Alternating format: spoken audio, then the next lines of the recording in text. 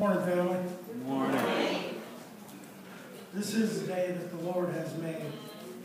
I will rejoice and be glad in it. I, uh, a couple things there. This is the day that He made.